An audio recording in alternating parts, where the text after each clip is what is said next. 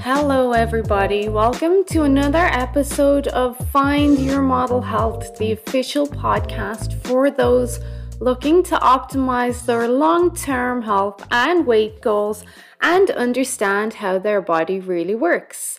I am your host. I am Chemaine Linney. I'm a fitness and nutrition expert, certified iridologist, and biohacker. And I'm very happy to have you back with me for another little piece of your day.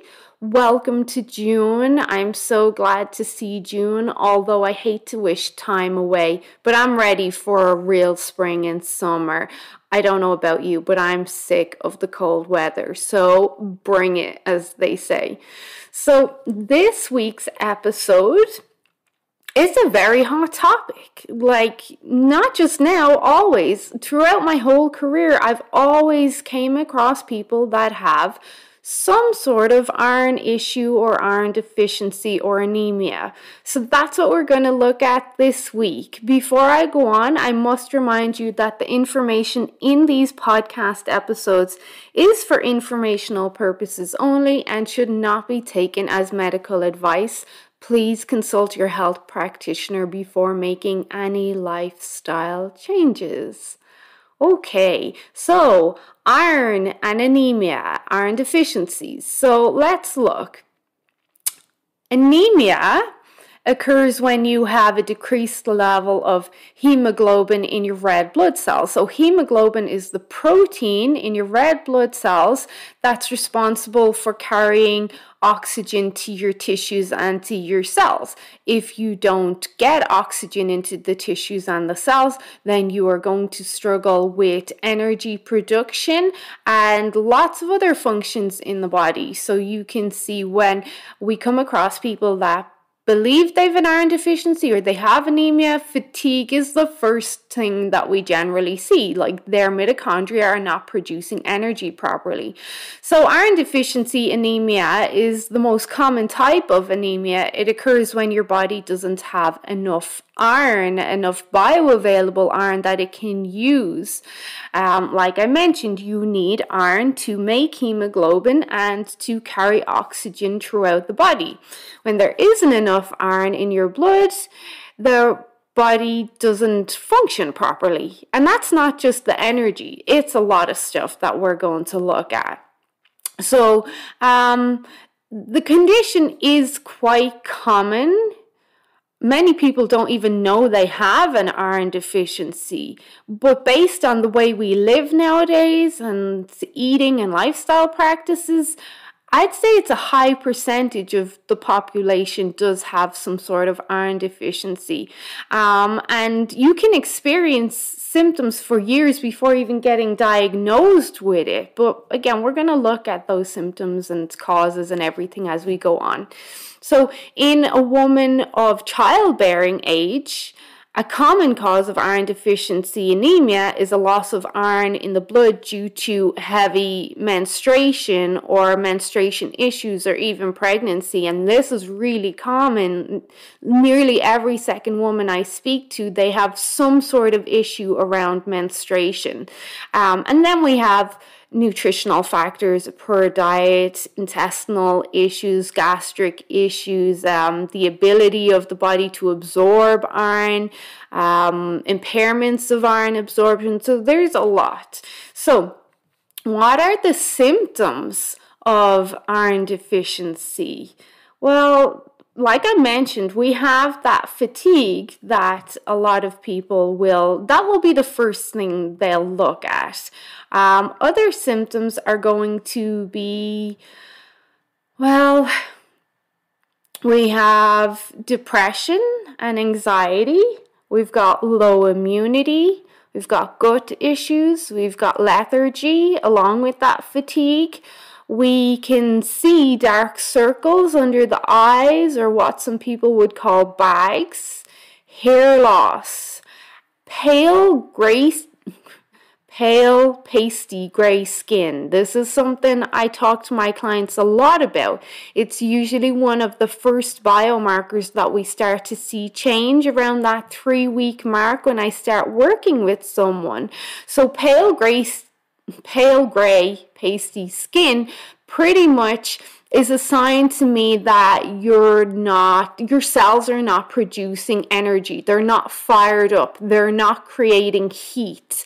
When you have healthy cells and mitochondria that create a lot of energy, if you think of those mitochondria like li- little nuclear power plants, when they're fired up and working properly, they create a lot of energy and heat and warmth. And this then is reflected through the skin, and the skin looks like full of life. It glows, it's warm, it looks healthy, it looks full of vitality because the mitochondria are working properly. And yeah, there's an aspect to nutrition there, but the iron plays a big part because you need to get the oxygen in there as well. So when you see someone and you're like, oh man, they don't look well, like they look sick, they've got that pale gray skin, that usually is because their mitochondria are not working. Their cells are exhausted. They're just not creating energy.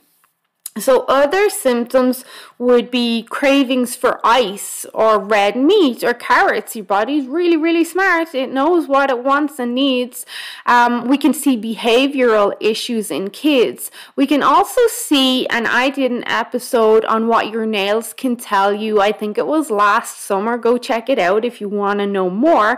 But we can see your nails, they'll start to change, they'll start to become spoon shaped or curl upwards. That sounds crazy. That sounds like something you'd see on a villain of a Disney movie.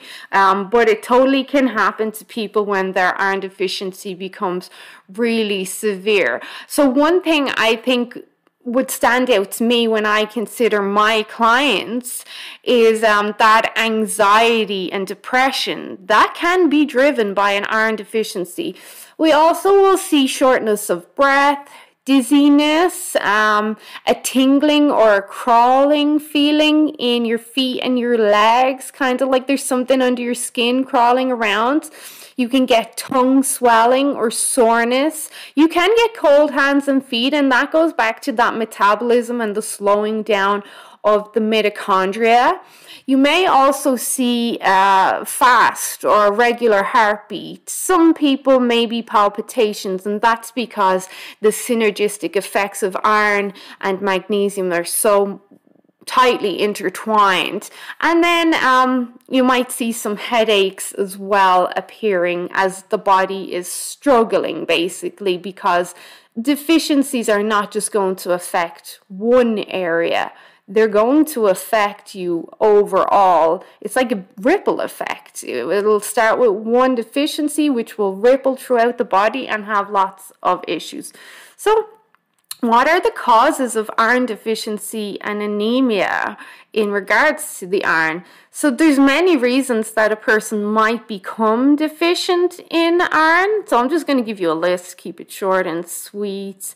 Um, so obviously, well, not obviously, but um, low consumption of animal products or specifically red meat or muscle meat that can affect iron. Um, then you can have inflammation will inhibit iron absorption. Too low or too high zinc will affect iron in the body because um, Zinc at high doses can reduce the absorption of iron, and we see this in many studies. There's a study, Iron and Zinc Homeostasis and Interactions, that you can look up on PubMed if you want to know a little bit more than that. But it's because iron and zinc, they target the same protein site, and zinc can block up those receptors or affect that protein site faster than the iron can. So you have to be careful there. There needs to be a balance which is what I'm always, always saying. Always have a balance. It's not so much about moderation as it is about balance. Then copper, copper deficiencies. You need copper to store iron and convert it into hemoglobin. Copper, copper, copper. People forget about copper. It's like the forgotten child. You also need vitamin A. Vitamin A is needed to help the body use iron more effectively. The presence of vitamin A in one study increased iron absorption up to twofold. So if you want to look up that study, it's titled on PubMed, vitamin A and beta carotene can improve non-heme iron absorption. But then there's also another one that says, uh, it's titled the influence of vitamin A supplementation on iron status. Simultaneous use of iron and vitamin A supplements seem to be more effective to prevent iron deficiency anemia than the use of these micronutrients alone. Now, I don't specifically supplement with vitamin A for my iron. My iron is pretty good. I use vitamin A to support my immunity. Um, so, Either way, you're going to get benefits from adding vitamin A into your diet. And it doesn't have to be supplement because I know people get sick of supplements. I do get that. Um, but sometimes if you're not working with a nutrition practitioner, chances are people are going to be low in certain areas, and that's just how it is. So, there in that, I also mentioned in one of those studies, beta carotene can help improve non heme iron absorption. So, beta carotene is a pigment found in plants that gives them the red color or their orangey color. So, think of um, sweet potato carrots, red pepper, orange pepper, anything that's red or orange, they're going to be rich in beta carotene. So we also have what else can impair or affect iron in the body. Calcium supplements too can play a part in iron deficiencies. Uh, proton pump inhibitors, non-steroidal anti-inflammatories, low stomach acid, gastric issues. People don't even think of this at all. I'm not going to say they skip over it, they don't even think of it. So when you have stomach or gastric issues, then you're going to basically not be breaking down the food properly so that you can assimilate the iron and the nutrients. And then you can also not be utilizing the nutrients properly either. You may be losing nutrients because of leaky gut. You may also be losing nutrients because you have maybe IBD and you're experiencing lots of diarrhea. So you're definitely going to flush out a lot of minerals there and nutrients. You may also then not have high enough stomach acid or a good digestive uh, acid and enzyme profile that again you're not actually breaking down the food. You're not assimilating what you need to assimilate. Um, so that's a big one and many people have gastric issues now. I see it all the time. It's rare that you'll get someone that has nothing wrong with their gut at all. Like that isn't that's the normal now is gut issues is the normal so it seems so, uh, like I mentioned, low consumption of red meat, especially muscle meat, taking iron supplements with meals. A lot of people will do this, but actually, we don't want to do that because of potential interactions. It's recommended to take your iron supplements an hour before or two hours after food. Stress or chronically elevated cortisol will deplete minerals very, very fast and affect your absorption of minerals, and that includes iron. I, am just going to say this iron is mineral in case you forget about it because when we think of minerals, I think most people are thinking of sodium, calcium, potassium, magnesium. Iron is mineral. Um, and then depression, anxiety, and serotonin issues. So you need serotonin to basically have stable mental health and feel good. Um, there's also certain types of bacteria that will rob you of iron. Um, so you want to look out for any sort of SIBO or reoccurring infections that you might have and address them as well. Um, the answer is not always to go pump yourself full of iron. You want to look at all these other things too, like how is my gut? How is my stomach acid? Am I getting these constant infections? Do I have bacteria issues? How is my stress? So there's a lot there.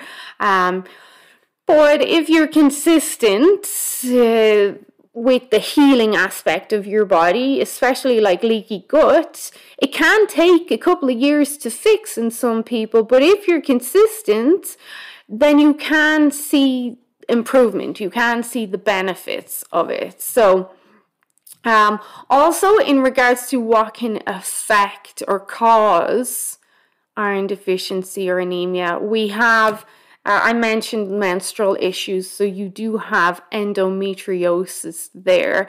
Endometriosis is where you have very heavy blood loss during your menstrual cycle, not just your period, because some women will experience spotting as well. So they will lose a lot of blood there. We used to think this wouldn't affect iron levels because the uterus builds up its own tissue to shed, but it does actually affect. Um, our iron levels in our body. And then you also have internal bleeding. If there's some sort of internal bleeding there from maybe a stomach ulcer or polyps in the colon or intestines or even colon cancer, um, along with the regular use of pain relievers, like I mentioned, these can all affect um, internal bleeding, which would cause you to lose iron. And then lastly, there are some genetic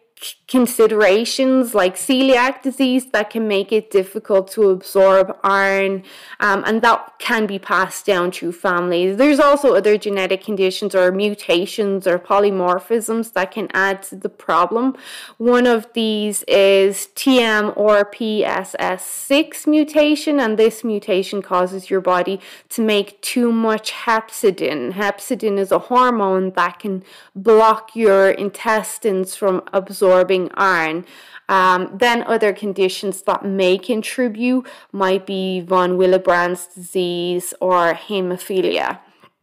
Okay, so um, what are the risk factors with having low iron? What what's what's the problem there? Well, we've looked at the symptoms. We've looked at some of the causes.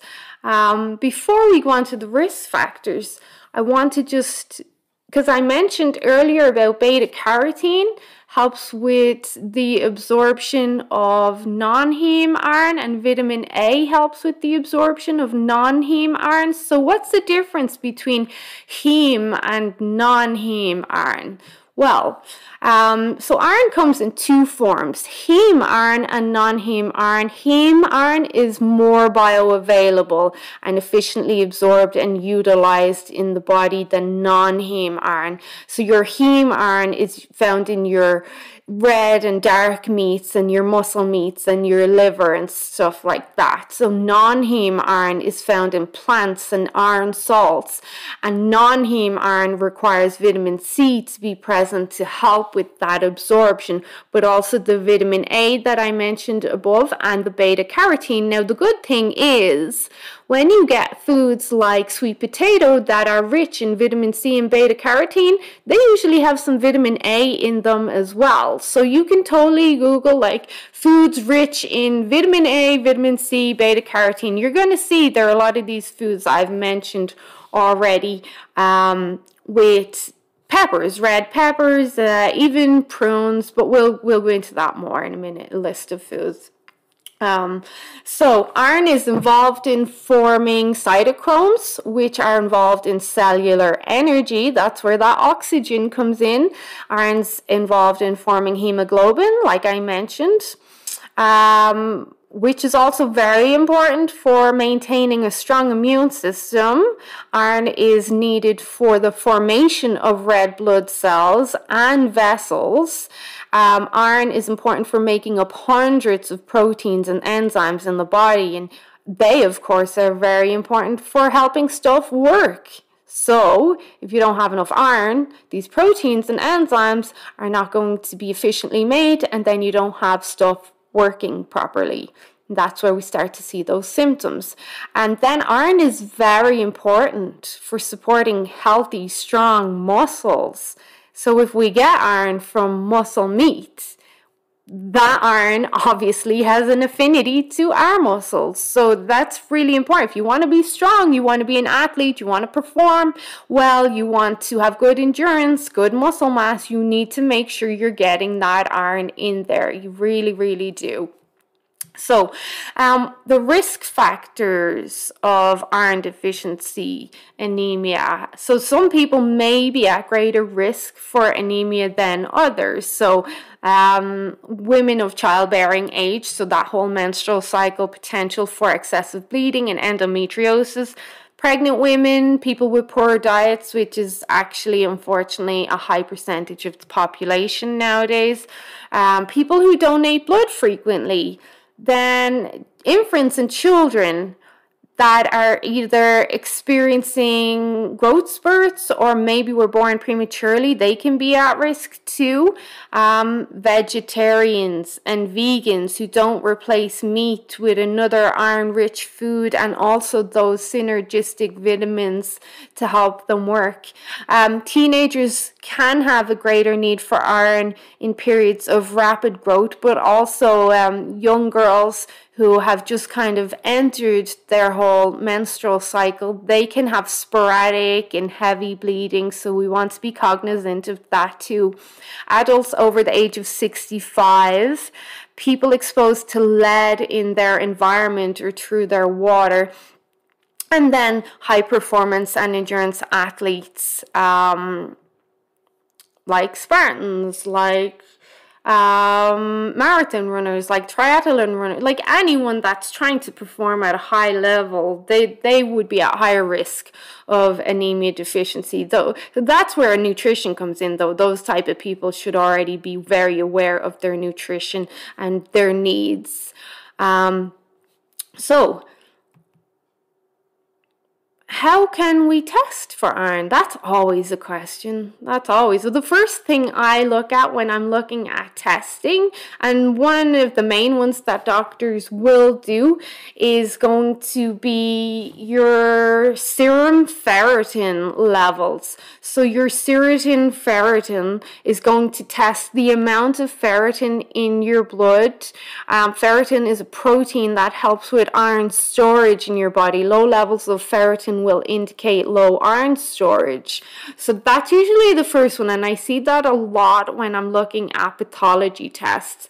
Then a complete blood count, so you'll see that on your labs as CBC most doctors will always do that regardless if they're looking at iron or not because they're looking at those red blood cells and the white blood cells. They might be looking at immunity they might be looking at inflammation. Um, then you can look at hemoglobin or hematocrit and then you can look at platelets.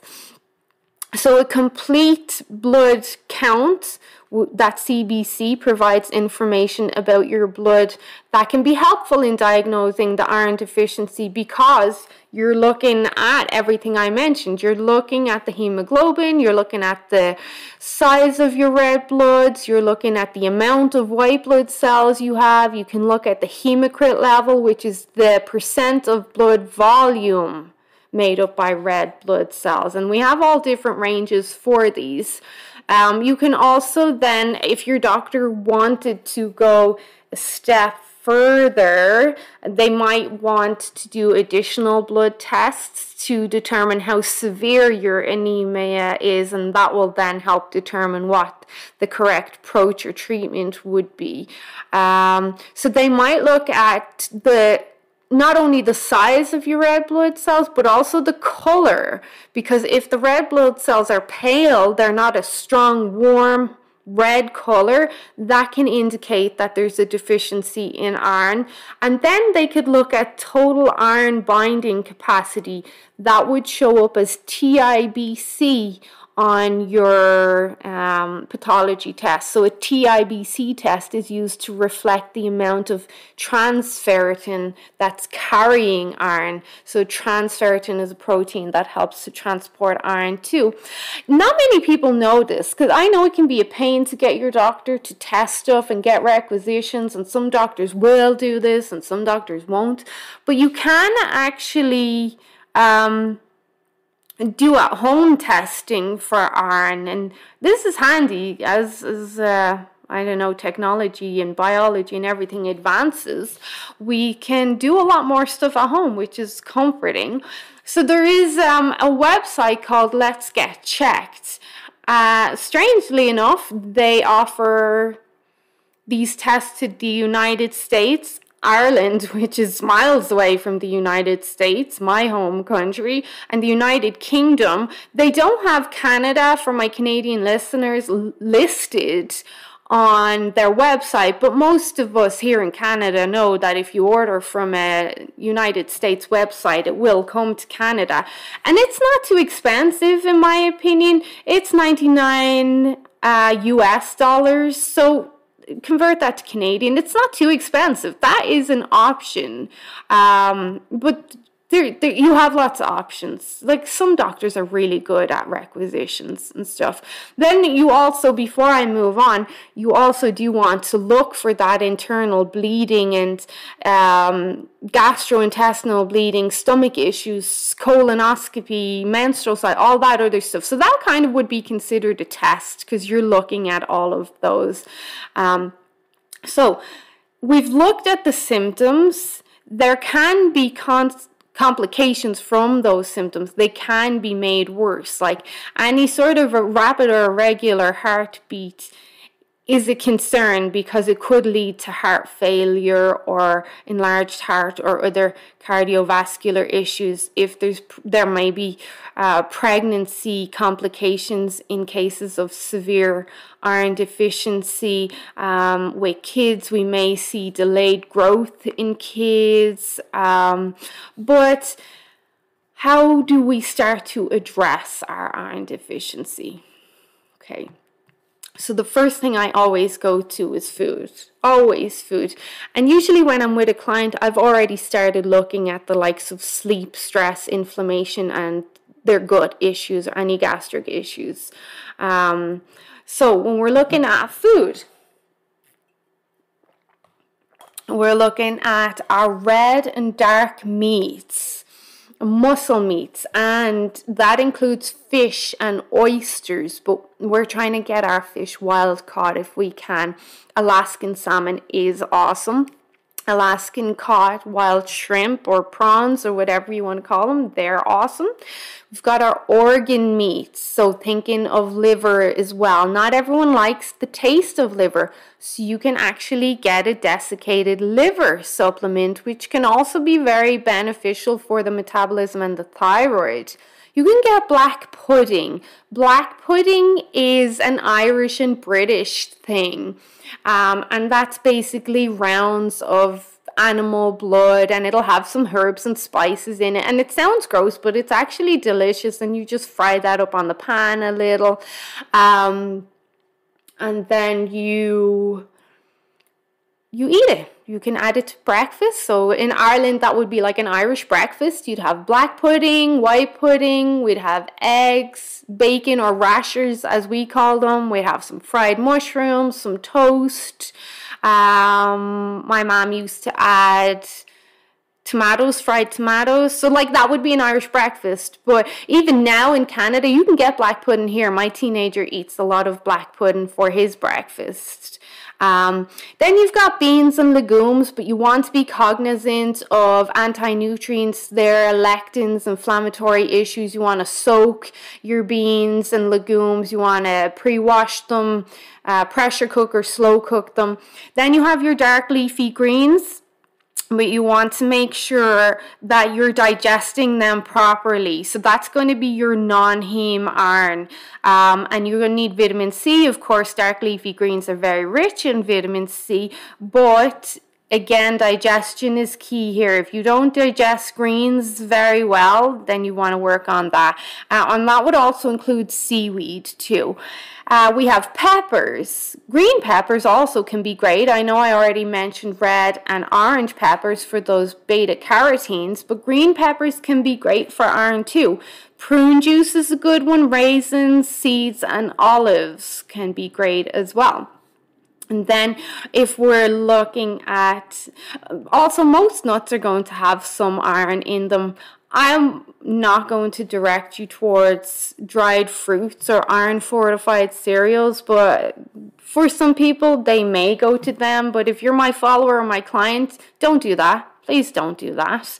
Um, and then um, you can get a supplement you can get a ferritin supplement. Uh, they can be hard on the gut. You'll need extra hydration. You may need some extra magnesium to help your body move that iron through your body. Uh, make sure you're not getting constipated. In severe cases, a red blood cell transfusion or an intravenous iron can help replace iron and blood loss quickly, but that's not a permanent thing either. So we really want to be what's permanent is food you're going to need to eat for the rest of your life. That's permanent. You don't even really need to think about it on some level. Like, on some level, I know my clients are like, I think about my meals all the time.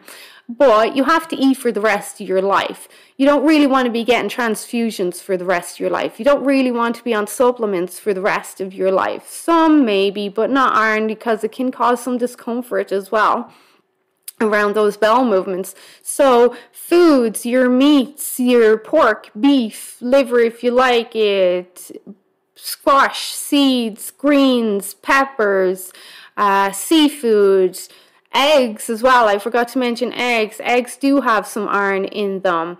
Um, and then foods that are going to complement the iron your carrots, sweet potato, tomatoes are red if you can tolerate them, if your gut can tolerate them. Papaya, strawberries, mangoes, oranges. Now I'm just listing foods, so I'm going to stop with that. So the takeaway here is that uh, there's many things that can cause an iron deficiency or anemia. Usually we'll look at nutrition first uh, and then start to look at everything else. Um, uh, if you suspect you have an iron deficiency, go get it checked out. Um, they should be able to do a requisition pretty fast, or you can look at that website again that I mentioned. Let's get checked. It is what it's called. Let me just be sure here. That's what it's called yeah, let's get checked. And they ship to the United States, which is potentially Canada, and they will ship to Ireland and England as well. So get yourself checked and then you can take action. Like you have literally all of the information in here right now. Um, if you think you have too much iron, you might look at constipation can be a real indicator of too much iron. So if you think you have too much iron or you're noticing any liver issues, um, raised liver enzymes or anything, you get your doctor to check your iron there as well to make sure you don't have too much iron. But this really, this episode, if I am going to say so myself, it's got everything you need now to start addressing any iron deficiencies or anemia that you think you may have. As always, if you have any questions, please reach out to me. I'm always happy to answer everybody. You can send me a message through my website, that's chemainesmodelhealth.com. There's a contact me button there. You can reach me on Facebook or Instagram, and even people will comment under podcasts, um, like on SoundCloud, I'll get comments, or even YouTube, people will leave comments, and I'm always happy to answer. So, otherwise, I hope you guys have a great day, a great week, get lots of sunshine, get lots of good food, and I'll chat to you guys real soon. As always, if there's anyone you feel would benefit from this information, please do share with them. Sharing is caring and really I say it all the time, we should be taking responsibility for our health now. And if you haven't subscribed to my podcasts or liked them, please do. I really appreciate it. Okay, bye bye, everyone.